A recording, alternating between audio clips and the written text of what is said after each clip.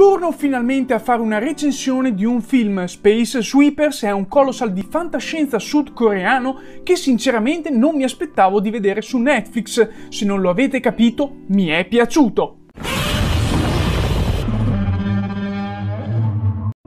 Vediamo di andare con ordine. Mentre vedete apparire tutte le grafiche relative a questo canale e a come supportarlo, oltre che ricordarvi del podcast di Fantascientificas dove troverete in futuro anche questo audio, sono venuto a conoscenza di questo Space Sweepers mentre raccoglievo tutte le informazioni sulle prossime uscite Netflix nel video di qualche settimana fa che trovate qui in alto. Immediatamente la sinossi e il trailer mi hanno fatto esclamare wow, mi sa che qui c'è qualcosa qualcosa di valido. Per chi mi segue da tempo in podcast dovreste sapere che apprezzo sempre di più le produzioni coreane del sud, visto che hanno un approccio alla storia differente da quello occidentale e soprattutto stanno imparando enormemente da Hollywood. E questo Space Sweepers non ha nulla da invidiare ad una produzione USA e anzi per me batte prodotti blasonati come per esempio Batman contro Superman.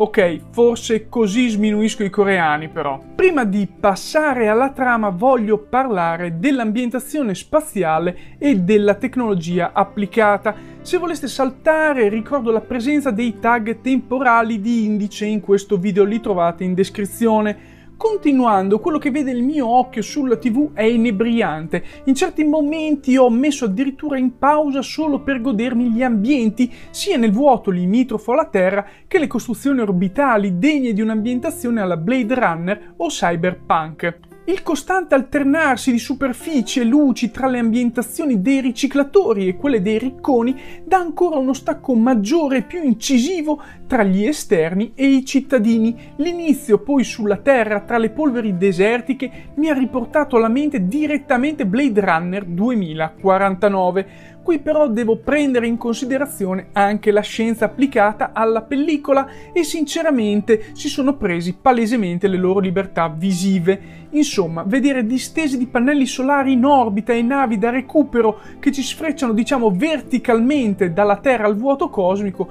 palesa che non tengano minimamente conto delle traiettorie orbitali reali. Non parlo poi dei punti di Lagrange che nel film è identificato come uno unico ma che in realtà sono 5 nel sistema orbitale Terra-Luna. E non dico poi che è meglio non fare mai alcun detrito in quei punti, mai! A parte queste cose mi ha fatto solo un po' specie vedere una tecnologia spaziale così avanzata già alla fine di questo secolo, con addirittura ascensori spaziali e strutture così massicce da dover risultare visibili come la Luna dalla Terra. Questa prossimità temporale mi ha pure infastidito riguardo l'età del super, eh, volevo dire Sullivan, che avrebbe 150 anni. Questo però implicherebbe che già al giorno d'oggi ne avrebbe 70, insomma potevano andare avanti anche di un secolo secondo me. Ultima cosa, prima di passare alla trama, mi ha fatto sorridere allo stesso tempo terrorizzare l'assoluta incuria e menefreghismo di navigazione di tutti i piloti, con manovre praticamente dentro i tralicci di stazioni in orbita con la continua creazione di detriti dovuti proprio alle microcollisioni che avvenivano. Vabbè, ho giocato troppo a Kerbal Space Program probabilmente. Ma veniamo ora alla trama e ai personaggi inizio proprio da questi ultimi. Li ho trovati costruiti bene e non banali, ma approfonditi il giusto. Ma sinceramente sul capitano Young mi sarei aspettato qualcosa di più, anche perché tra tutti e quattro i membri della Victory, la nave da recupero detriti che manco fosse il Millennium Falcon, mi sembra essere quella più deboluccia. Comunque i nostri spazzini spaziali hanno tutti un passato turbolento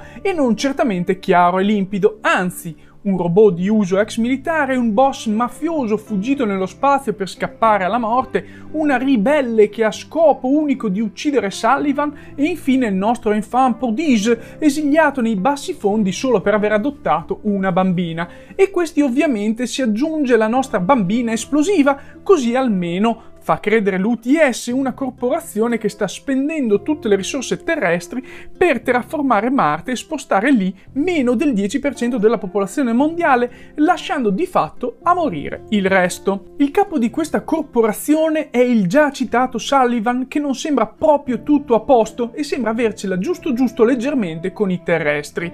Anche a ragione probabilmente, perché il nostro pianeta azzurro è diventato ormai invivibile, pieno di inquinanti e irrecuperabile. Si tratta di un film palesemente ambientalista e umanista che si prefigge di dare un insegnamento a chi lo guarda. La suddivisione in classi sociali è fondamentale per rimarcare la differenza tra i cittadini e gli esterni, da cui per esempio si accettano solo contanti. Una vera e propria lotta di classe sociale dove cadere è un attimo, ma risalire un'impresa. La parte ambientalista è ben visibile nelle varie scene e nella vita di tutte le persone, come fosse un monito al nostro futuro. Inserisce anche tesi complottistiche che Creators The Past spostati, ma lo fa in maniera oculata e non calcando troppo la mano su queste ultime, che altrimenti renderebbero pesante la trama.